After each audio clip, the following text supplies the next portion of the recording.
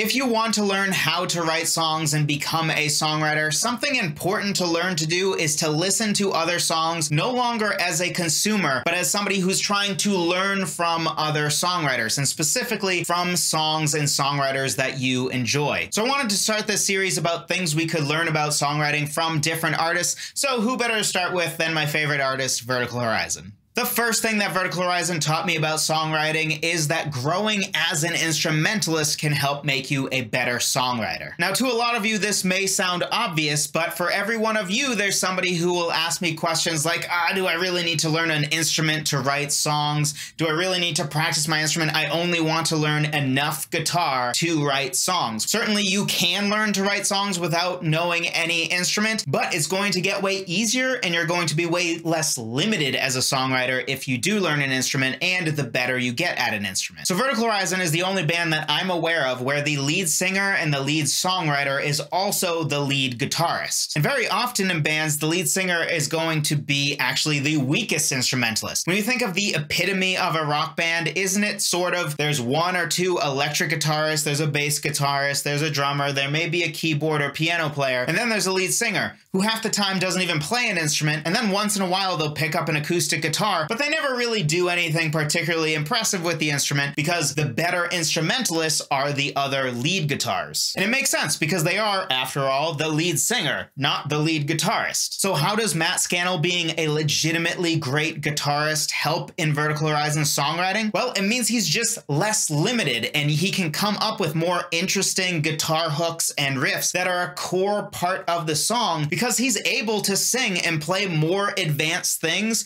very easily. Now, this isn't to say that most of Vertical Horizon's guitar parts are super intricate and complicated, but they are more complicated than your average sort of strummed acoustic guitar chords G major, C major, D major. A great example of this is the song When You Cry.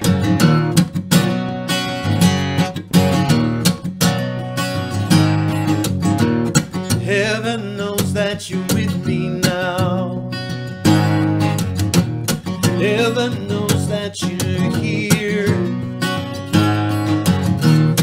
particularly advanced riff. In fact, if you're even an intermediate guitarist, you can learn it pretty easily. But it's the type of riff that you probably wouldn't come up with if you are mostly just a singer. Or another example of this would be the song We Are, which has, again, a pretty interesting little guitar riff. Sing and listen through the window. Sing a lover on the. Ask her if she got an answer. Do you know? And even with their biggest hit, Everything You Want, on the surface you may think, oh, that's just strummed acoustic guitar chords and a lead guitar riff. When you listen more carefully, you'll notice that there's a lot of hammer-ons inside of that acoustic guitar riff where it actually sort of has its own little melody. It's actually kind of an interesting little acoustic guitar part.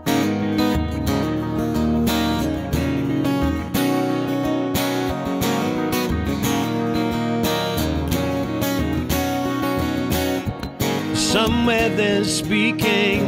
It's already coming in.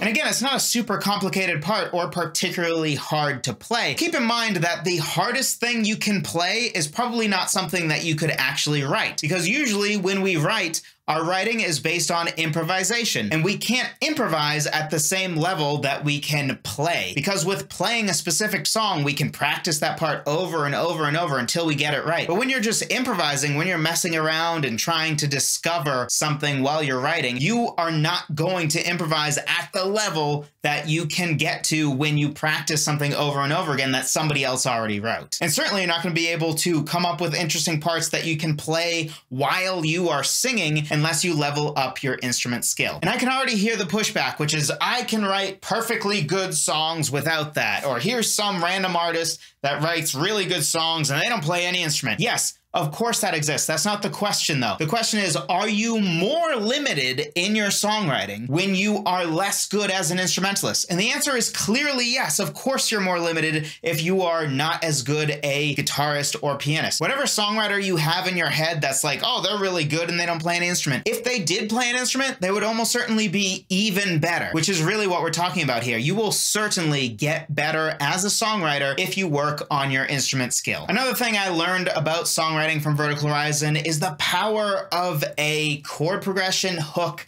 hybrid. I think a lot of us tend to think of chord progressions and hooks as two different things. There's the lead singer, they're holding the acoustic guitar playing the chord progression, and then the lead guitarist is doing a hook. And in a lot of songs, this is very true. But whoever said it has to be that way? We can actually have the main guitar part or the main piano part or whatever instrument it is be a chord progression and a hook at the same time. And there are different ways to do this. We can have what Everything You Want does, which is essentially a chord progression that contains a hook within it because it is basically a chord progression, but the way he utilizes hammer-ons and things ends up making it have its own sort of melody, which operates as a hook for the song.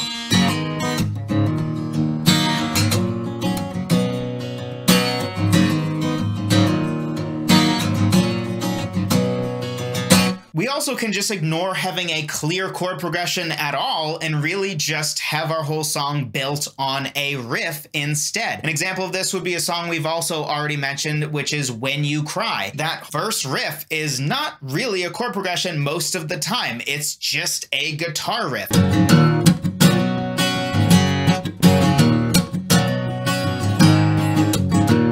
Heaven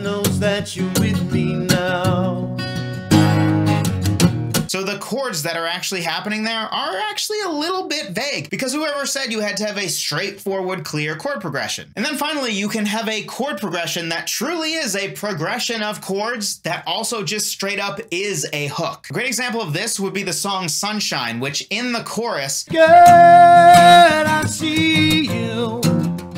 You see me too. Close your eyes and meet me in the sunshine.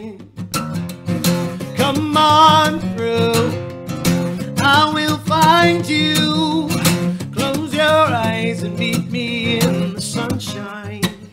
Is a chord progression of power chords, but also it is clearly a hook because it sounds very melodic. And it certainly is very far from one measure of G, one measure of D. No, instead, it clearly is something that is driven by the hook. It happens to leverage power chords, but it's more a hook than it is a chord progression, even though it literally is a chord progression as well. And look, some songs, maybe even a lot of songs, fit having a traditional basic strummed chord progression where we have one one measure of G and two measures of D and then one measure of C major. There's nothing wrong with that, but we don't want to be limited to all of our songs just being that over and over again because there's way more to songwriting than just let's come up with a basic chord progression and then let's come up with a melody on top of it. That's a great place to start as songwriters, but we don't want to be limited to that forever, do we? Because that's gonna start to get boring. So if right now you feel like you're just beginning with guitar or piano and you don't feel like you're ready to come up with riffs yet and really you do need to stick with basic chord progressions, that's totally fine, right from where you're at. But be sure to learn more about your instrument and get better at your instrument over time and consider integrating some of these things into your songs. And another thing I learned about songwriting from Vertical Horizon is the power of symbolic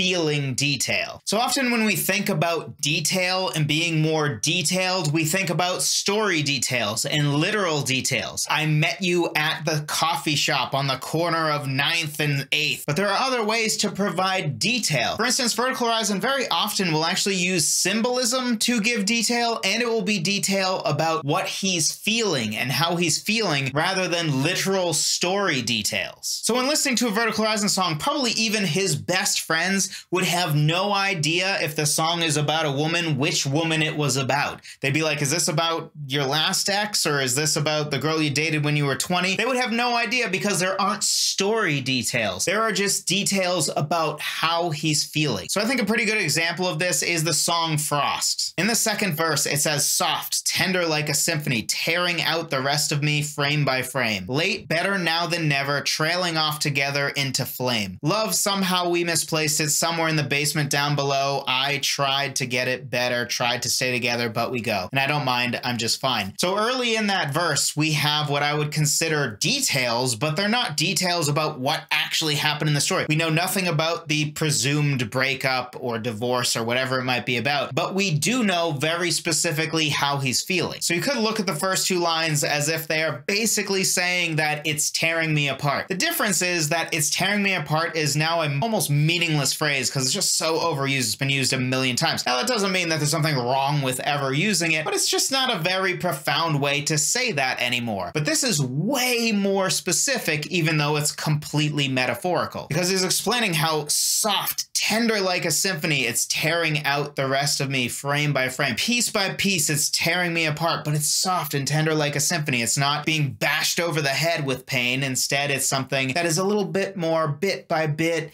it's sort of softly happening. That's very, very specific, even though it doesn't tell us anything at all about the story, because there are other details we can dive into besides story details. We can get more detailed about how we're actually feeling, how we're responding to what's going on on around us. Another example of this would be Carrying On's first verse, which says, The waves on the shore can't be ignored. Soon they're all around you. The cavalry's failed, they're all gone, but you're holding on. Somehow it's not what you asked for. So here the waves on the shore and the cavalry that's gone isn't actually literal. It's not real, but it's utilizing this as metaphor for how the person is feeling, and therefore gets way more detailed about how they're feeling, where the waves are behind behind them and it's getting harder and harder to ignore. The cavalry that was going to be their last defense is all gone. So now you're surrounded, wondering, how did I get here? This isn't what I asked for. And the beauty of metaphor over just saying it in basic prose is often with metaphor, you're effectively painting a picture with your words. And if pictures are roughly worth a thousand words, then when we use a few words to paint a picture, we effectively get a huge return on our investment of words because we use, say, 10 words to to draw a picture that's worth a thousand words. So don't feel like the only details you can get into are literal story details, because you can also have non-literal details where you utilize something like symbolism, imagery, any type of metaphor, and you also don't have to give details that are story-driven. You can give idea-driven details, or you can give details that are more about how you are feeling or how somebody else is feeling or responding